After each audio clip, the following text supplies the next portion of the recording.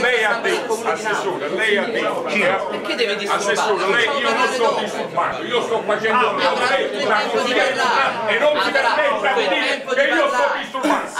Assessore, assessore, la prego di dire al suo collaboratore di non dire che io sto disturbando. Assolutamente. Attenzione a Palazzo San Giacomo e battute al veleno. Dietro il tavolo istituzionale ci sono l'assessore alla cultura Nino Daniele e un parterre di organizzatori a vario titolo dell'imminente Pizza Village.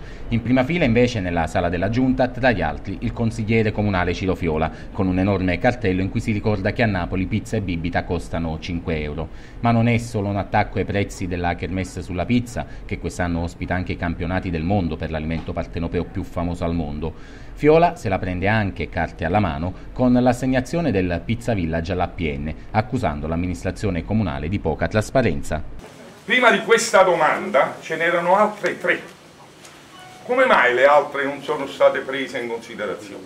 Beh, voglio ammettere quella là presentata una a marzo eh, e una a- ripetuta a giugno, dove l'assessore Panini stranamente dice in una lettera siamo profondamente dispiaciuti non poterlo accontentare perché c'era una domanda pluriennale e c'è questa richiesta che è da data 30 giugno 30 giugno di quest'anno. Tra le altre cose mi preoccupo pure nel mentre ci sono le altre richieste che sono state protocollate diciamo in un modo eh, informatico qua porta semplicemente a penna una data del 30 giugno Quando l'assessore Daniele dallo scranno prova a replicare, Fiola, indispettito, abbandona la sala. mi ha deluso anche lei Consigliere, Mi ha deluso anche lei, assessore. Mi aspettavo delle risposte più coerenti da lei. La conosco da anni e come lei dice, no? Daniele, ribadendo la convinzione di aver agito nella bontà e nella correttezza, poi non lesina una frecciatina al veleno a Fiola.